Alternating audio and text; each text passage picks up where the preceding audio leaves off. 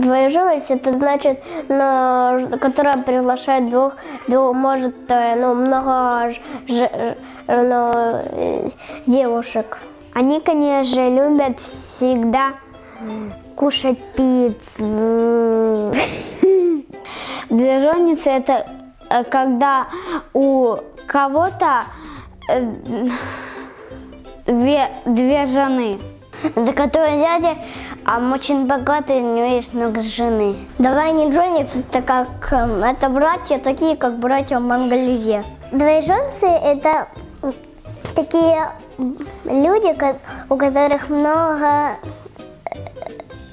жен. Много женщин это очень хорошо. Если было два жены, значит два ребенка было маленьких. Вот тяжело с ними их, их, ам, их кормить, уложить спать, потому что они будут все равно плакать. То, то второй плачет, то, то слева плачет.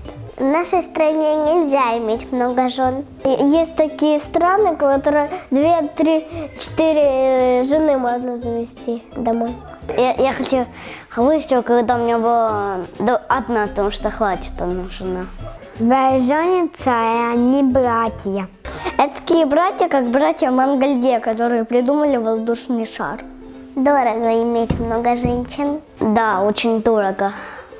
Потому что тогда, если одна узнает, что у тебя есть другая, то тогда одной ты с одной расстанешься, а с одной останешься. Это, наверное, загадка. Потому что они хотят быть двоеженцами, и их так назвали.